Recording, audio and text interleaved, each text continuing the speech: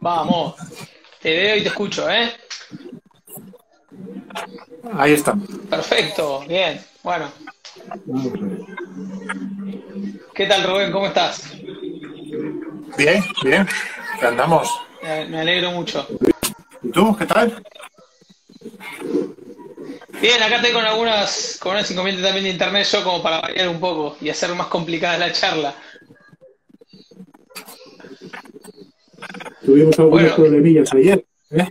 Sí, ¿qué pasó? ¿Solucionaste ahí con tu capacidad informática o volvió solo? No, no, no, no he hecho nada.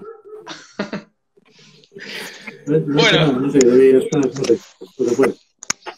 Yo te decía ayer que, bueno, vi que vos naciste ahí en, en Avilés y nosotros tenemos un compatriota que estuvo atajando en un equipo llamado Atlética Avilesina, ahí si es por donde vos estabas. Sí, ahí estuvo mi hermano entrenando, pero no sé si fue en aquella época cuando, cuando estuvo este chico, este Fernando- portero, no me acuerdo del nombre. Fernando García se llama. Ahora después, ahora creo que siguió viviendo en Francia. Yo recuerdo de haber tenido alguna conversación eh, sobre él con mi hermano. Entonces, sí Ah, sí. Mirá, qué increíble. Espectacular. Y te hago una consulta. ¿Vos arrancaste eh, tu carrera profesional en Ademar? ¿Fue tu, fue tu primer contrato profesional? Sí. Al final Manolo ahí en, en León tiene muy controlado la cantera de todo Asturias. Digamos que para salir de Asturias al resto de España, ya sea balonmanísticamente o por carretera, eh, tienes que pasar por León sí o sí. Bueno, igual una experiencia increíble, ¿o no? Sí, claro, era, joder, pues eh, yo llegué con 17 años y, y, claro, llegué a un equipo ya con jugadores con grandes estrellas. Por aquel entonces, eh, siempre recuerdo el primer día cuando entré por el vestuario y, me, y vi a- allí sentados estaban ya Juan Alemani, Dragan Scrivit y eh, Hombrados eh, y compañía. Para mí fue aquello bah, eh, un impacto con 17 años. Un- en tu puesto, sin duda un diferente, un jugador espectacular. Sí, era un jugador que marcaba la diferencia, quedaba máximo goleador de la liga y eso eh, para hacerlo un pivote es muy complicado, ¿eh? Hombre, tiraba penaltis, pero vaya, se metían muchos, muchos goles. Impresionante. Y usted, y vi que ahí jugaron la final de, de la Recopa de Europa contra el Teca en 99, ¿puede ser? Sí, allí con el Ademar gané la, la Recopa de Europa y, y la Copa y la Copa Sobal. La Recopa eh, contra Teca, ¿no? sí, sí, eso es, sí, contra Teca la Recopa. Teca tenía un equipo también impresionante. Ustedes también tenían gran equipo. Me, acuerdo de un joven Alberto Entre Ríos también, pero Teca tenía Sí. un gran equipo, sin duda, impresionante. Y aparte creo que ya venía con, con más experiencia europea que ustedes, ¿no? Sí, era un equipo muy curtido. Yo creo recordar que estaba Yakimovic entonces ahí. Yakimovic, Urdiales, era- Malumbres, Sí. creo, también. Joder, tienes, ti- tienes más memoria que yo o haces eh, muy bien tu trabajo de. No, de- un de poco y un poco. Lo que pasa que ahí en, en Teca estaba Alberto Urdiales, que yo, yo soy, eh, soy extremo derecho, Alberto Urdiales era como mi ídolo, entonces al Teca lo seguía mucho. Además, lo que nos pasó a los argentinos que fue el Teca fue el equipo donde llegó Talan primero y acá había mucha cosa con Talan, entonces lo seguíamos un poco más que a los otros equipos en realidad. Sí, eh, era un, un gran equipo entonces. Eh, estaba ya bajando un poquito, en aquella época es cuando ya empezó a, bajar y eh, además estaba a dos o tres años de ganar la liga. ¿eh? Luego el Ademar ganó la liga dos o tres años más tarde. En aquella época el, dominan- el dominador absoluto era un poco como ahora, el Barcelona, con el Dream Team de, de Valero. Y, y bueno, los demás aspirábamos a ganarle algún partido al, al Barcelona, pues igual que pasó ahora. E- Esa era una época sin duda increíble, ¿no? De Asobal, donde había, bueno, recién dijimos, por ejemplo, lo de lo de tu hermano dirigiendo en Primera Nacional, que podían fichar extranjeros, de ahí para arriba, digamos, esto, equipos como Ademar, lleno de estrellas, Teca, Barcelona, Portland, eh, era una época sin duda dorada, ¿no? Para el balonmano español. Sí, eh, al final yo he pasado 22 años como profesional, entonces he vivido todas las épocas. ¿eh? Eh, Yo cuando llegué al balonmano profesional en España estaba en pleno ascenso y llegaba de una época de impagos y de huelgas que yo no, no me tocaron, y, pero viví esa época en la que eh, el balonmano ascendió económicamente mucho y las grandes estrellas todas recalaban en la liga, en la liga española. Eso a, a, nosotros nos hace, nos hace un favor porque hay muchos que hablan español, a raíz de eso para nosotros es espectacular porque podemos conversar con ruso, sueco, esloveno. Increíble. Sí, bueno, eh, es lo que pasa, ¿no? Que al final los españoles eh, nos cuesta mucho aprender inglés, entonces obligamos a los demás a hablar español. Espectacular. Rubén, y te hago una pregunta. Vi ahí que una vez, no sé, en, la verdad que desconozco la circunstancia en la que estuviste en Francia y te sacaste una foto con el logo del Fénix porque tenés un tatuaje del Fénix, ¿no? ¿Puede ser? Eso es, sí. Eh, ese mismo verano me había hecho yo el tatuaje del Fénix y pues fuimos a jugar en pretemporada contra el Toulouse y la verdad es que tenía cierto, cierto parecido y bueno, pues por hacer la gracia me hice la foto. Y sabes que escuché, eh, va, leí, escuché varias veces que dijiste como que el balonmano te salvó la vida. Imagino por ahí no será tan literal, pero ahí tu barrio era medio complicado cuando eras chico. Sí, si llego a saber que, que, esa frase iba a tener tal repercusión a la realista con la entrevista que hago, me, lo, me, lo, recuerdo. Es, eh, digamos que no es literal. Creo, no lo sé, no sé lo que habría pasado. Yo crecí en un barrio obrero y, y marginal de, de Avilés. Y había pues eh, mucha delincuencia y mucha droga en la calle yo no era más chico, yo seguramente me habría librado de eso, pero desde luego el balonmano eh, me quitó toda, todo riesgo de que, de que pudiera pasar eso, porque eh, me sacó de la calle y, yo solo me dedicaba a estudiar y a jugar al balonmano. Bueno, igual, a ver, si bien la frase no es literal, creo que sigue siendo un mensaje positivo, porque por ahí es lo que muchos le decimos a los chicos, a los chavales, que el deporte por ahí va por ese lado, ¿no? Te aleja de los malos hábitos, sin duda. Sí, sí, sí, eso está claro. Hay que, hay que ocupar la mente, en cosas sanas y, alejarse de, pues, de, los malos ambientes. Contame algo de Cangas, porque después te quiero ahí en, Valladolid, quiero hacer un parate, porque viste, nosotros tenemos a Eric Gull que jugó en Valladolid y para nosotros es, es un faro, digamos, lo que es el handball, pero antes pasaste por Cangas, ¿cómo fue? Porque Cangas es un equipo que en general siempre es luchador, ¿no? No, no era como Ademar arriba como Barça, como fuiste después.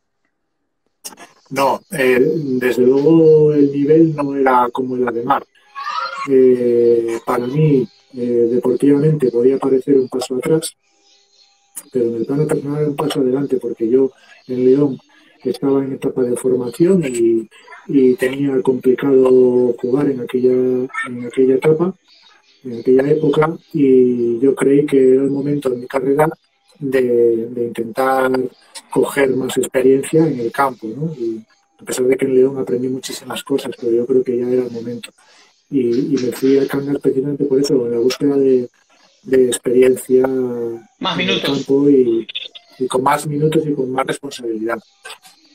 Bueno, eso sin duda fue, bien. Eric es un gran amigo mío y mantenemos contacto asiduo. ¿eh? Ah, sí.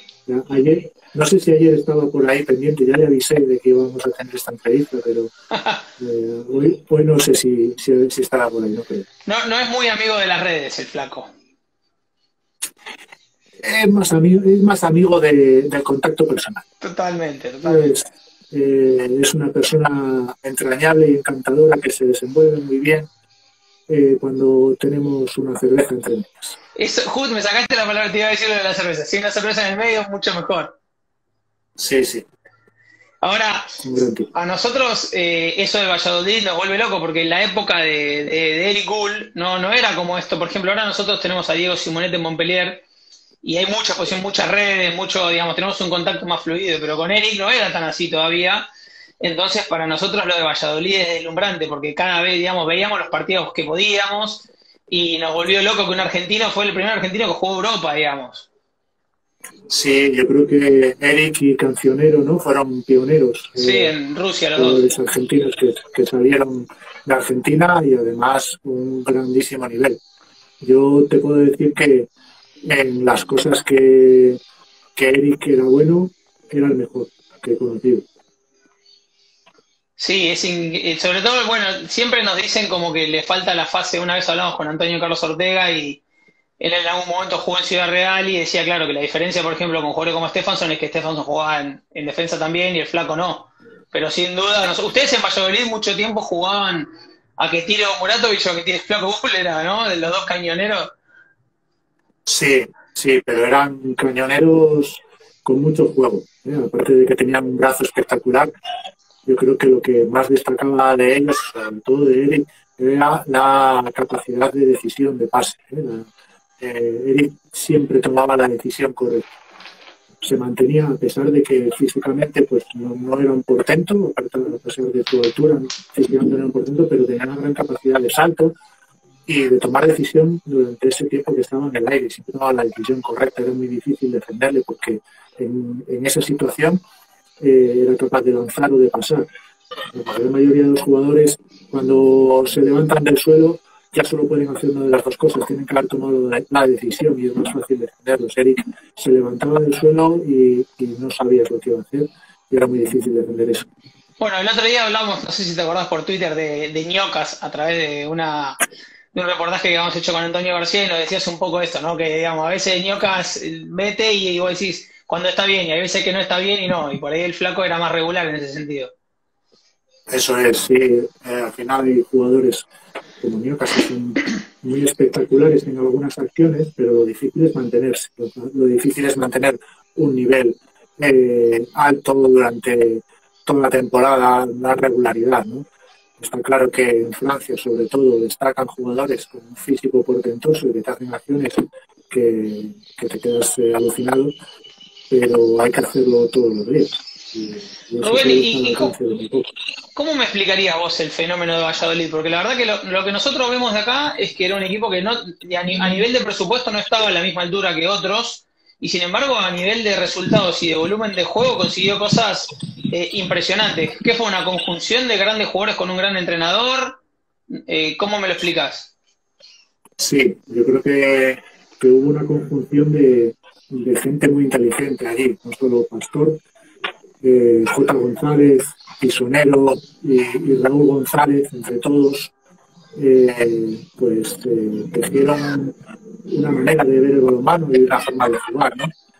Los, dentro de los componentes ¿no? principales de técnicos tácticos de balonmano, eh, la técnica individual, la táctica individual y la táctica colectiva, yo creo que donde el, el balonmano Valladolid eh, yo creo que más revolucionó el balonmano fue en la táctica individual. La técnica individual se ha trabajado muy bien desde siempre en España. Eh, siempre se ha trabajado pues eh, los detalles técnicos de, cómo se finta, de cómo se arma el brazo, de pues, eh, la posición base, los movimientos. Tácticamente hemos ido evolucionando también mucho, pues colectivamente, ¿no? con movimientos cada vez más complejos, pero lo que es la táctica individual, es decir, enseñarle a un jugador en qué momento es el más adecuado para aplicar cada uno de esos conocimientos que se le ha enseñado, es lo más difícil, yo creo que es donde el Valladolid eh, más destacó, en, la táctica, táctica individual. Y Rubén, te hago una pregunta. Se habla siempre de esta defensa de anticipación, digamos que Pastor proponía por ahí una defensa de menos contacto y de más intercepciones. ¿Esto es así o es una impresión mía? Sí, fue una, eh, era una necesidad también. Al final eran jugadores, éramos jugadores jóvenes, muchas veces con un físico inferior, lo que le pasa ahora mismo al balonmano español también en, comparación con Francia, por ejemplo, que hablábamos antes. Eh, al final es una, una, cuestión de supervivencia ¿no? y, de adaptación. Entonces eh, tienes que buscar una manera de frenar a la gente sin entrar tanto al contacto físico porque sales perdiendo. Y a vos, digamos, como, como gran defensor que sos y, medio dueño ahí del medio de la defensa, ¿cómo te, ¿cómo te venía eso? ¿Porque era una forma nueva o no? A mí, a mí me costó trabajo. Todos los jugadores que pasaban por Valladolid siempre les costaba trabajo. El primer año es muy duro y tienes que ser psicológicamente muy fuerte. Porque todo lo que llevas aprendido no te sirve de nada y, pues tienes, que tener una autoconfianza fuerte para, fuerte para no venirte abajo, ¿no? Porque tienes te la sensación de que no haces nada bien, que todo está mal, que todo lo que sabías no sirve para nada. y, tienes días duros, pero eh, cuando empiezas eh, repentinamente a hacer las cosas bien, del modo que te exigen y que te empiezan a salir de modo natural, eh, empiezas a disfrutar y, a gozar. ¿no? Yo en Valladolid siempre tenía la sensación de que me iba para casa aprendiendo algo nuevo y esa sensación es lo mejor que hay. Y a vos, Rubén, yo siempre me acuerdo de los, de los partidos que vienen de Valladolid, de, de Davis o de Parrondo, ahí en un avanzado muy profundo, tomando muchas decisiones. Para vos, como defensor central, el hecho de estar solo ahí era más complicado, ¿te sentís más cómodo con el 6-0 o te adaptás? Sí, en, aquel 5-1 que hacíamos y que, hacemos, pues al final los entrenadores que, que seguimos un poquito esa filosofía, el que manda es el avanzado. Entonces, eh, el avanzado decide en cada momento, eh, sobre todo en las situaciones de, 2-4, eh, cuál es su, actuación y los que están detrás tienen que contar para saber cuál es el suyo. Entonces, en, todo momento tienes que estar pendiente de lo que tu compañero va a hacer, conocerle muy bien y anticipar la, actuación. Y, pues si él va a un lado, tú sabes que tienes que ir al otro, tienes que tener continuamente eh, ser consciente de dónde están los oponentes, los pivotes, el, primera línea desdoblado, todo, ¿no? Y, jugar un poquito eh, con el atacante e intentar que el atacante haga lo que tú quieras que haga, ¿no? Y para intentar ir por delante de él, ¿no? Porque al final siempre la defensa va por detrás. Intentas eh, responder a lo que hace el, ataque y siempre va a ser por detrás. En esa defensa lo que intentábamos es que el ataque hiciera lo que nosotros queríamos para poder estar por delante. Ahí me decís, eh, eso igual quema un poco los libros, ¿no? Porque en general, digamos, lo clásico en el balonmano es que el que mande sea el, defensor central y hable porque tiene mejor eh, campo visual y qué sé yo, y ustedes lo hacían al revés. Un poco eso era lo que hacía Richardson en Francia, que decían como que él en el avanzado tenía libertad y el resto de la defensa se adaptaba. Sí, el centro de la comunicación sigue siendo el central. El central al final es el que lo ve todo y le tiene que dar la información al avanzado. Si, un pivote le sube a bloquear, el avanzado no puede verlo con, el cogote, no tiene ojos en el cogote. Tienes que darle la información. Es más, en algún momento tienes que decirle, oye, pues vete a este o vete al otro, ¿no? Pero siempre tienes que estar pendiente de, y dejarle un poquito al avanzado eh, que sea creativo y que siga un poquito su intuición y los demás ajustarnos un poquito un poquito a eso. Digamos que es un poquito responder a, a, la intuición del avanzado, pero con un orden, siempre y todo entrenado en realidad. ¿eh? ¿Y vos cómo crees, por ejemplo, que, pega esta situación de poder atacar con siete para ese tipo de defensas abiertas? ¿No es un poco, digamos, no conspira contra esa defensa, digamos, de que vos decís que proponen anticipar y van afuera? Pues no lo sé, al final todo depende ¿eh? de cómo lo hagas. Eh, normalmente en balonmano siempre hablamos de sistemas defensivos, ¿no? Y hablamos, pues, de nos vamos a Sota Caballo y Rey, ¿no? 6-0, 5-1, 3-2-1, pam, pam, pam, ¿no? Pero es que dentro de cada 5-1 eh, hay mil variantes y dentro de cada 6-0 incluso hay mil variantes, muchas maneras de defender. Entonces, al final, eh, de cómo lo llames es lo de menos. Eh, entonces, el 5-1, por ejemplo, que puedes hacer aún en una situación de igualdad de 6 contra 6, es completamente diferente al 5-1 que, que haces si te ponen un un 7 contra 6. ¿no? Es totalmente diferente, aunque la situación inicial de los jugadores es la misma, el comportamiento cambia totalmente. Entonces no, es comparable. Claro, yo te preguntaba, ¿sabes por qué? Porque cuando salió, digamos, esta regla la aprobaron y recuerdo que el primer torneo grande se implementó fue Río 2016. Eh, en Qatar, eh, eh, Brasil jugó contra Croacia y Brasil proponía con Jordi una defensa muy abierta de anticipación y entonces Croacia le empezó a meter 7 y entre las situaciones de doble pivote los obligaba a bajar y nosotros como argentinos pensamos que por ahí conspiraba contra los países como la nuestra donde el biotipo es más, somos más chicos, necesitamos ir afuera los asiáticos, ¿no? Y digo, por ahí parecía que era una norma que favorecía a los europeos. No es, eh, no es imprescindible bajarse. El problema es que un equipo nacional entrenar todas las eh, posibles variantes es muy difícil, no tienes tiempo. Entonces, seguramente, pues si pones un 5-1 te ponen 7, el 5-1 que tienes que entrenar para cuando te ponen 7 es totalmente diferente y, ahí sí que son cosas muy concretas lo que tiene que hacer el avanzado. El avanzado es decir, se tiene que dejar un poquito de tanta eh, creatividad y, hacer cosas muy, muy concretas. ¿no?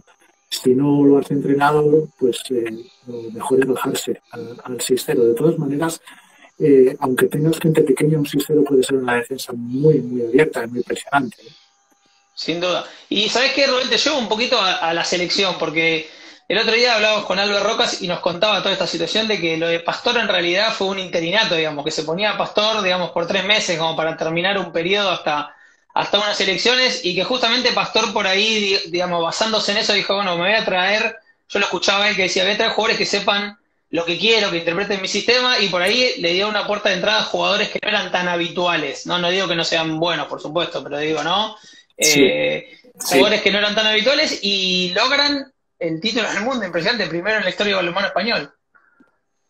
Sí, bueno, eh, en realidad eh, Pastor es un tío muy listo, pero vamos, eso tampoco fue una generalidad, eso es lo que hace cualquier seleccionador, llevarse a la gente que mejor cree que va a hacer el balonmano que él quiere hacer y la que él cree que va a darle el mejor resultado.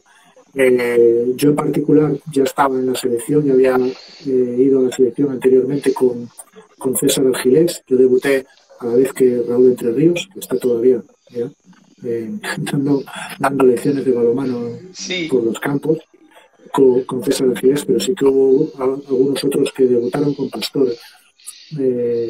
al final en un equipo el, peso táctico del equipo, eh, tanto en ataque como en defensa, te lo tiene que llevar el defensor central, el avanzado, el central y el pivote, ¿no? Todo el eje central del campo es el que te lleva el peso táctico.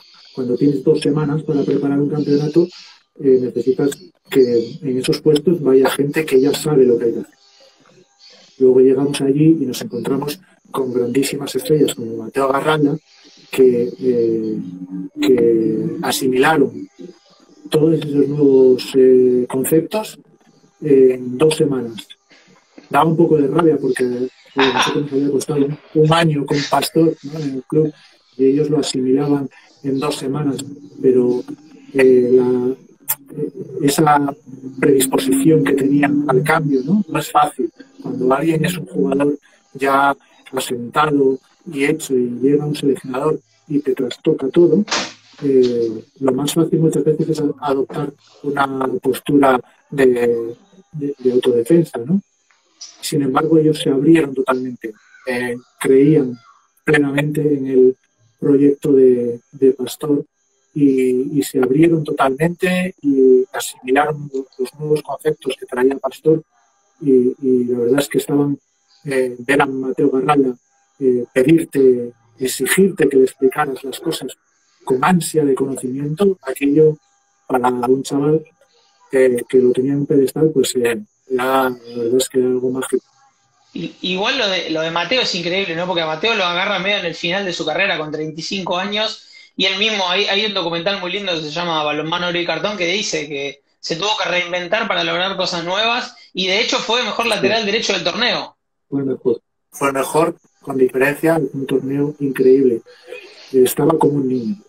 Eh, aquel torneo, eh, aquel torneo, aquella preparación estaba como un niño absorbiendo como una auténtica esponja todo lo que, lo que Pastor y los que íbamos con Pastor, que le hacíamos un poquito esa función, ¿no? De, de inyectar esos, esos conceptos en todos los compañeros. Entonces aquello era una charla continua, no solo en los entrenamientos, en las reuniones tomando el café en los momentos de distensión, todo era hablar de los conceptos de lo nuevo que sale, por qué se hace esto, y cómo se hace, y cuando te hacen esto, qué tienes que hacer, cómo respondes.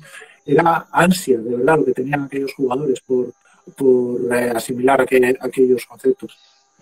Rubén, ¿y cómo fue esa gesta, digamos? Porque me imagino, España, digamos, hasta ese momento, nosotros, me acuerdo que de acá y de la ignorancia absoluta, ¿no? Nos parecía que era un poco como la España de fútbol, que tenía grandes jugadores, grandes equipos, pero que nunca conseguía coronarlo con un título, ¿no? Y que por ahí en esta situación donde el entrenador va por poco tiempo, lleva jugadores que por ahí no son tan habituales y sin embargo juegan a la final y aparte la final el resultado fue escandaloso contra una Croacia que venía de ser campeón olímpico, ustedes lo borraron de la cancha, prácticamente no hubo final. Sí, eh, nosotros acudimos a aquel campeonato con esa sin ninguna presión, lógicamente. Nadie esperaba nada de España entonces. Además, para mayores, el, entrenador era eh, de llegar, esas dos semanas de preparación, nada más, es decir, que nadie nos iba a exigir nada, ¿no? Entonces ibas con esa tranquilidad, pero también íbamos con, pues con esa sensación de tener algo, haz en la manga que nadie conocía, ¿no? de que tenías algo más y, y, que ibas a poder usarlo, una confianza, ¿no? Teníamos confianza e ilusión, es una mezcla brutal. Espectacular. Bueno, la verdad que impresionante. Y ahí también estuve leyendo que vos, un poco con lo de cuando pasás al Barça, que me parece que es un poco el sueño de todo jugador, ¿no? Son, son medio autocríticos, decís que no te fue bien y qué sé yo.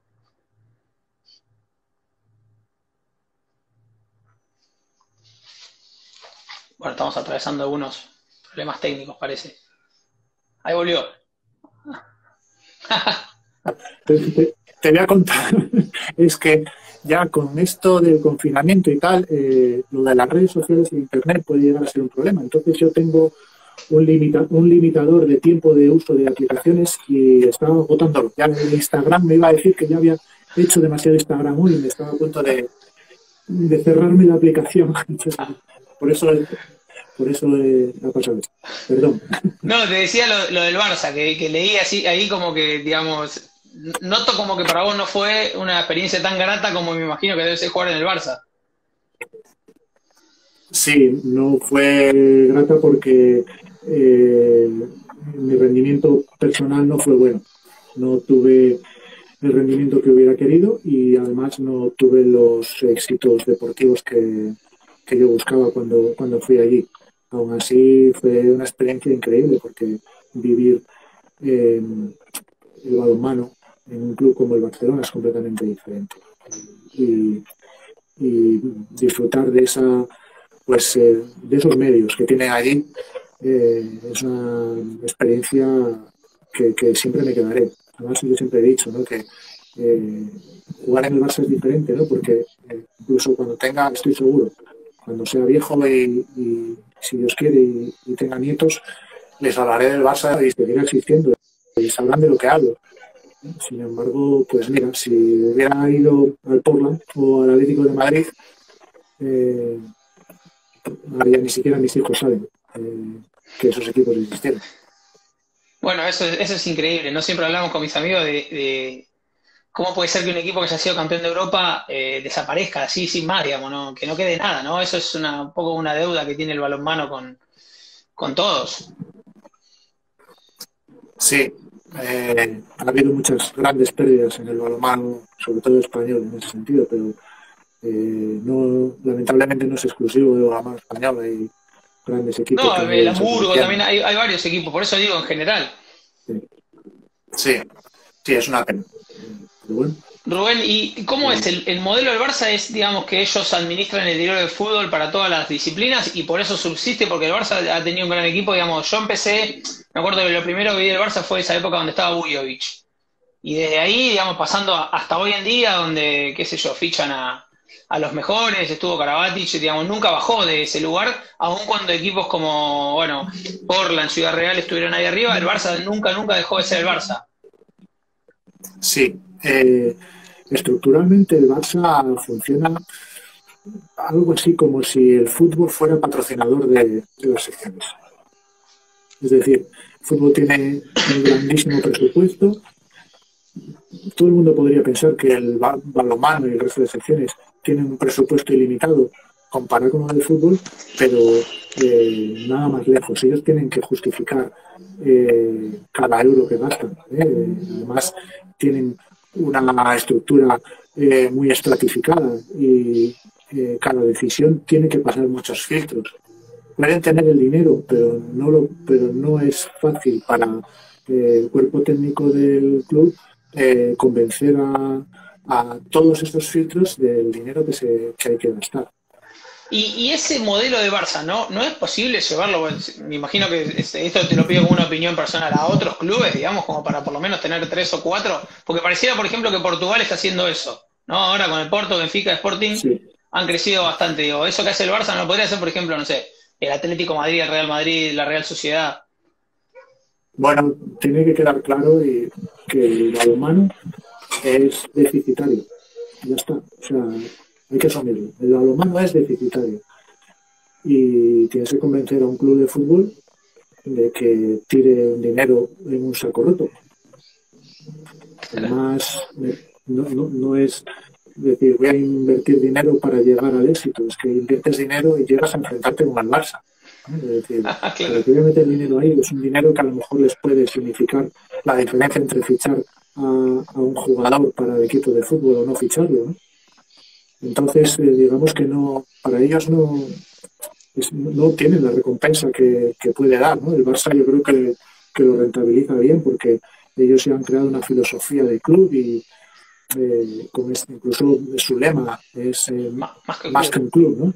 Más que un club. Entonces, de hecho, hay temporadas que eh, los resultados de, las secciones del Barcelona salvan la temporada frente a los socios. Es decir, bueno, no se ha ido bien en el fútbol, pero mira, en baloncesto, en balonmano, en el fútbol sala, les hemos arrasado. Ya está, se van contentos. La gente está tranquila y, y el presidente es elegido. Ahora, es un poco pesimista, digamos, este, este opinión, digamos, este, este, espectro que vos me estás dando, ¿no? Pareciera como que el balonmano español, digamos, no, no tiene mucha chance de volver a ser lo que fue. Es difícil, es difícil. El balonmano español tiene un gran problema estructural eh, muy, muy, muy complicado de, muy complicado de corregir. Eh, es difícil. ¿eh? Y por muchas razones, ¿eh? pero estructuralmente hay cosas de las que no podemos hablar en público eh, que, impiden que esto pueda progresar.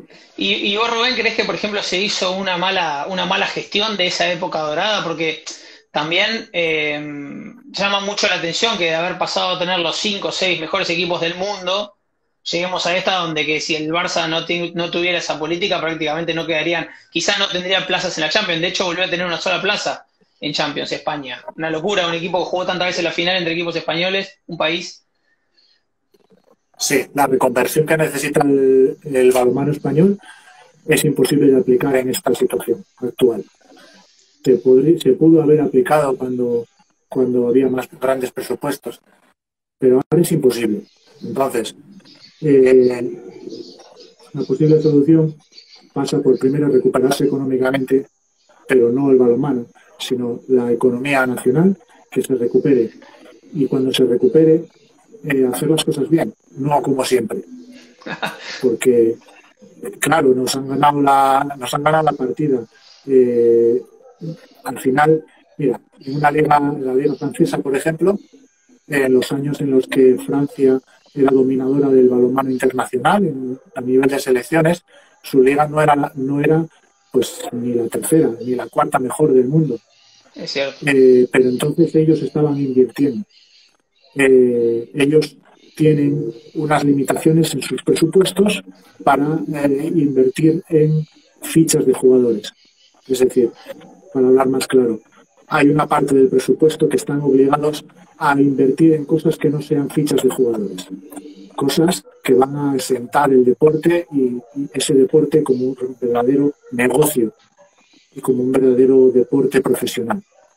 Pero eso hacerlo en España es imposible porque sería injusto. Es decir, tú como dirigente de un club dices, venga, voy a destinar un 30% a la promoción del deporte eh, y a marketing pero estás en desigualdad de condiciones porque los demás eh, siguen gastando un 105% del presupuesto en fichas de jugadores.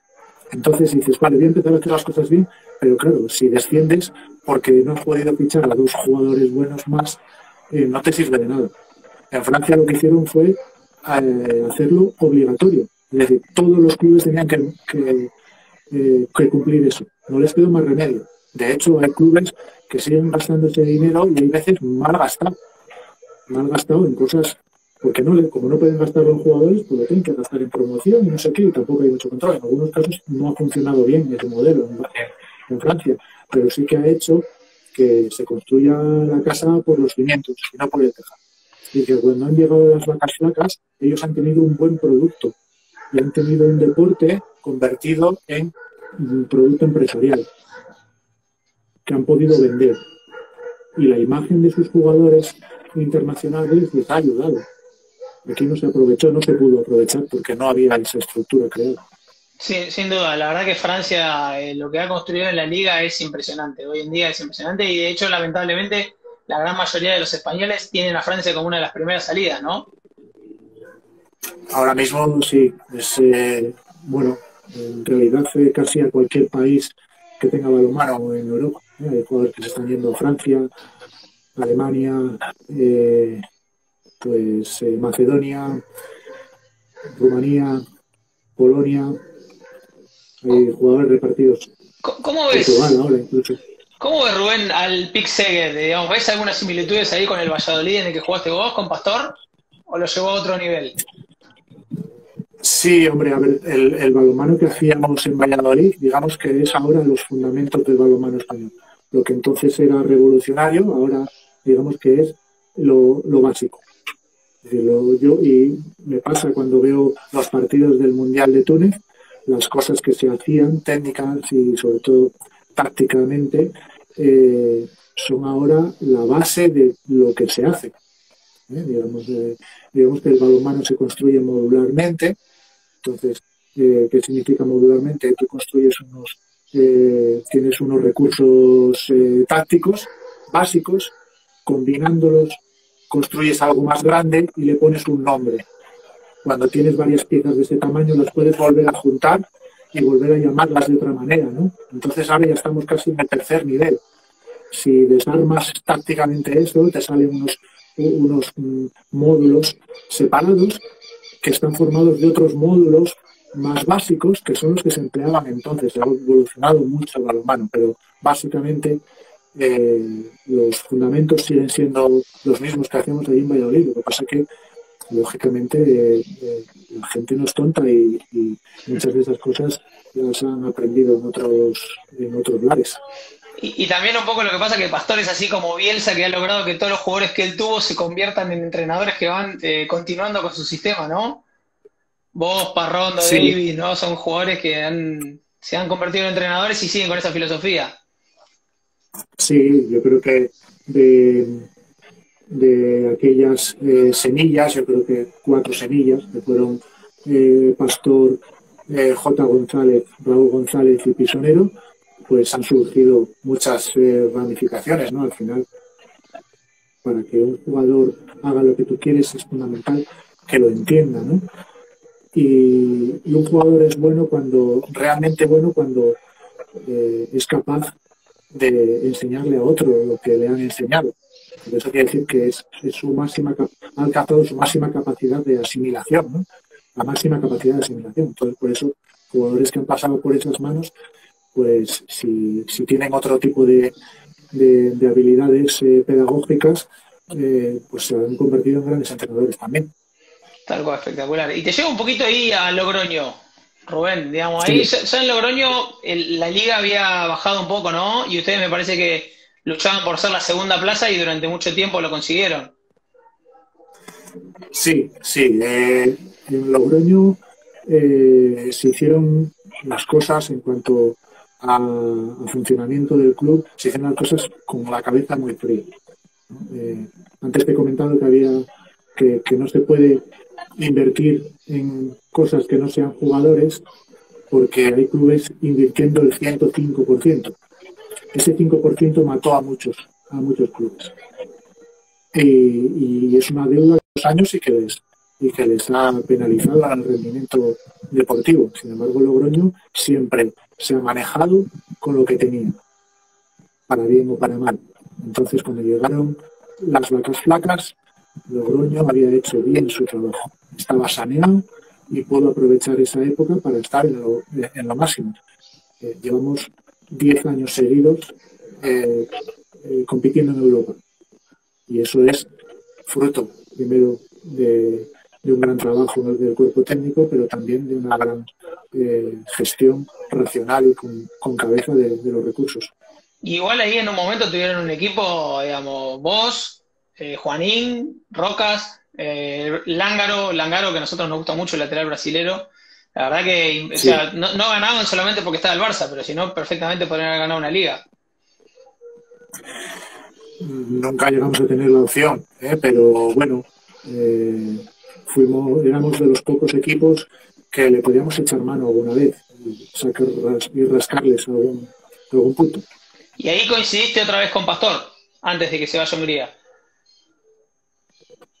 ¿Dónde? En, en, Logroño, con, con J. González. Con J, perdón, con J, que era el, ayudante, perdón. Sí, con J. González, que era el segundo entrenador de Pastor. Cuando yo estuve allí, yo fui compañero de Raúl y fui compañero de Pisonero. Y eh, Raúl González, o sea, J. González, que era el segundo entrenador de, de Pastor. Aquí eh, coincidí con, con J. González.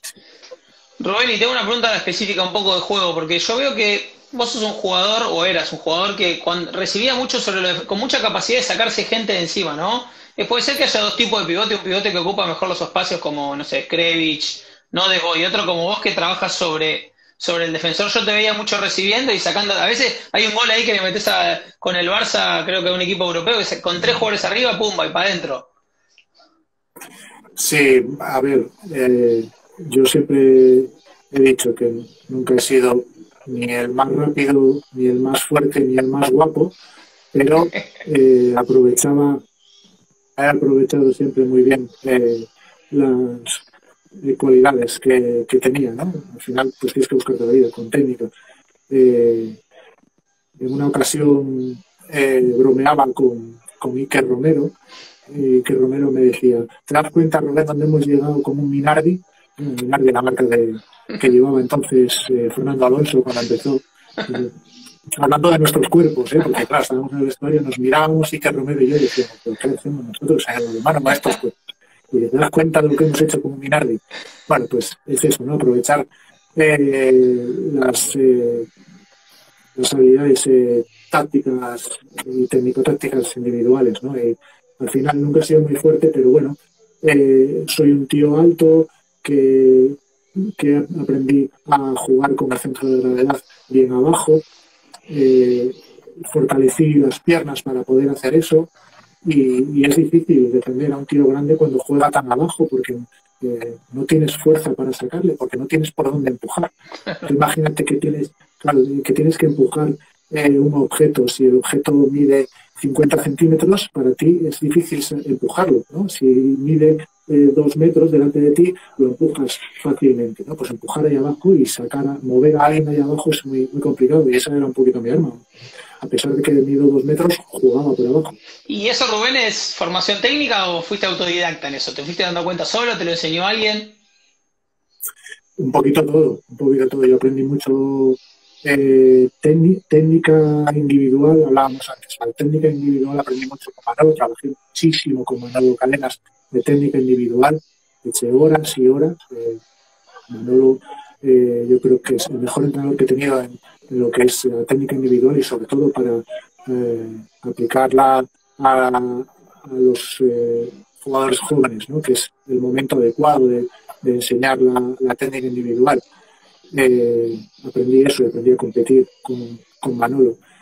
Eh, eso, pues lo aprendí de Manolo, aprendí muchas cosas también en, en Valladolid con, con Pastor y, sobre todo de, aprendí también de Pisonero, que al final pues también era un pivote con unas condiciones físicas no espectaculares, pero que sacaba un rendimiento increíble.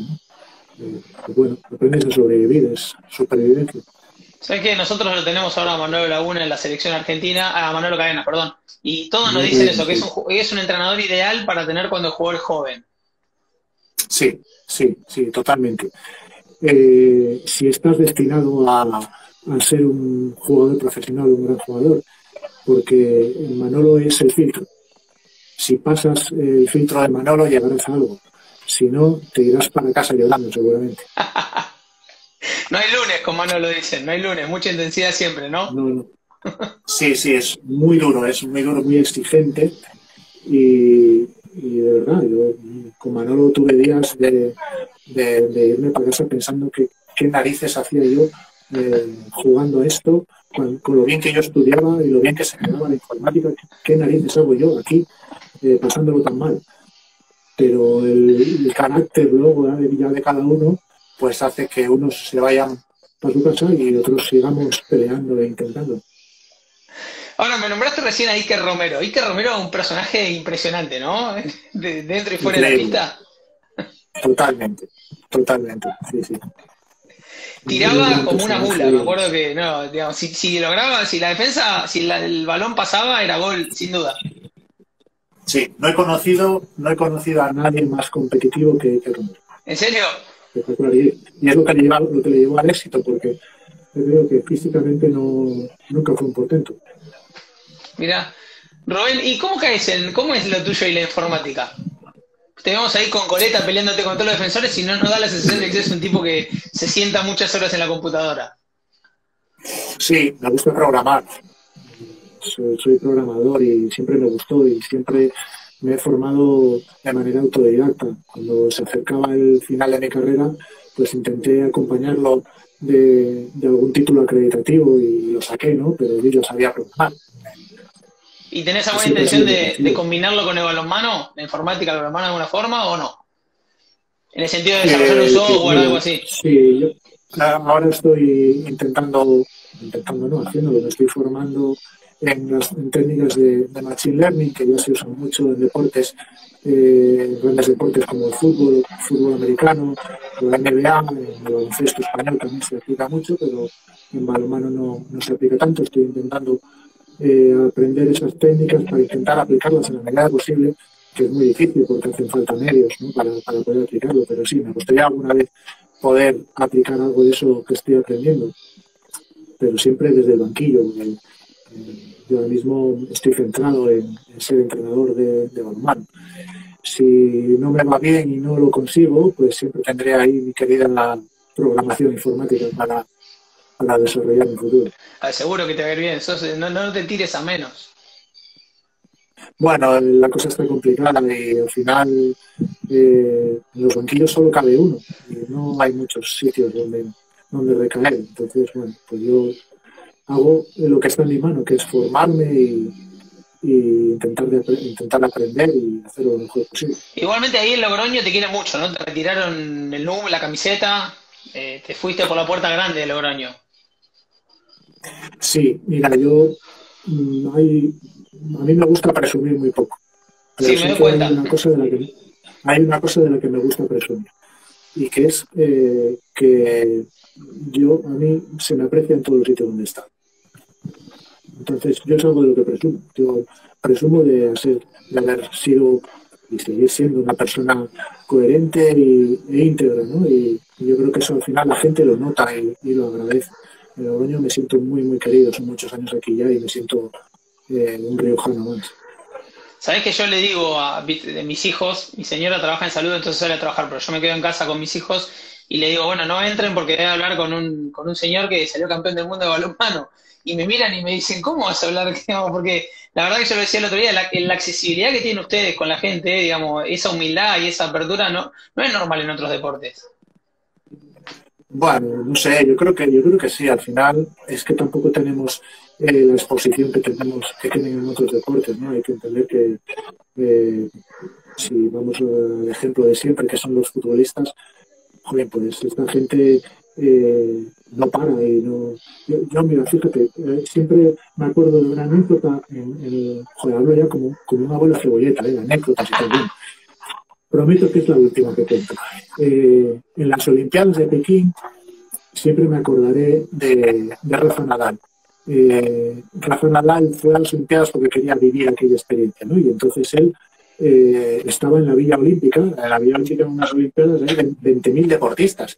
Y claro, cuando ves a Rafa Nadal, eh, solo te falta, a algunos les falta solo gritar y subirse encima de su espalda para darle besos. ¿no?